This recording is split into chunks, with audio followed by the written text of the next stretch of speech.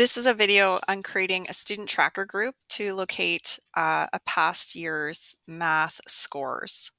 So I'm going to click here under this orange band, Student Tracker. Then I'm going to create an automatic group.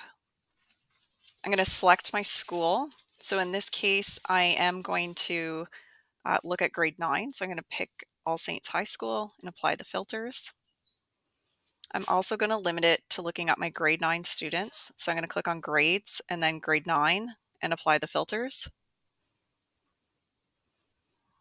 And then once I have my uh, list of students, I'm going to click down to this elementary report card because we want to see what their grade 8 math marks were from last year. So I'm going to select the term, the final term, so 22-23 term final.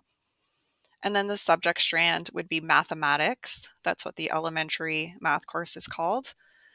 And in this case, we can select different levels. So if you're only looking at level one and level two, you could do that, or you could pick multiple levels and then apply the filters. Then you get your list of students who achieved a level one or a level two in mathematics last year.